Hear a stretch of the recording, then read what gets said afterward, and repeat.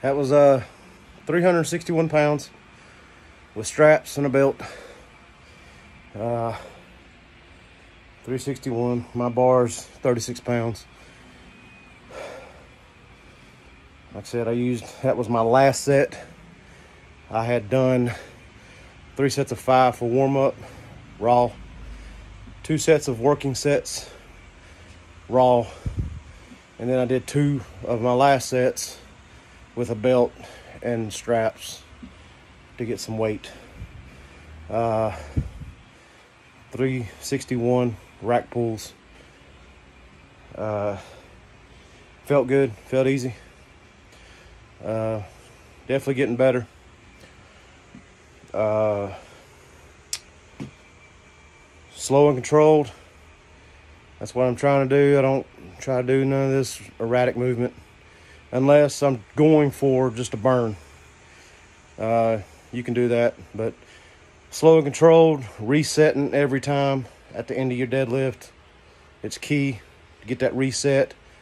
That way, you are getting the same results every time. Uh, it's just what's been working for me. I too was once a non deadlifter. Uh, I just started deadlifting around. I hate to say it, but at the start of the pandemic, like last uh, March of 2020, I'd never really dabbled into deadlifting any sort of way. I had back surgery in 2009. I dealt with back injuries my whole teenage life, things like that. I heard it at work. Uh, ended up having back surgery, like I said, 2009. Uh, but it feels good. I'm making it strong. My lower back is a lot stronger than it used to be and uh, I do. I watch a lot of videos. A lot of videos. Um, I like to learn as much as I can. Uh, I like doing rack pulls.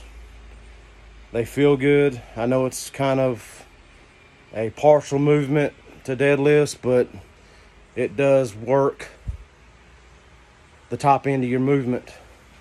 And that's not where I struggle at. I struggle at the bottom. Uh, getting off the floor. I can I can do it, but it's it's tough sometimes.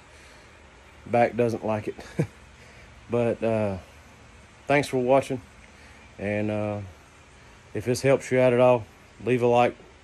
You can subscribe, and uh, I'll try to keep posting videos. Uh, I usually do Instagram a lot.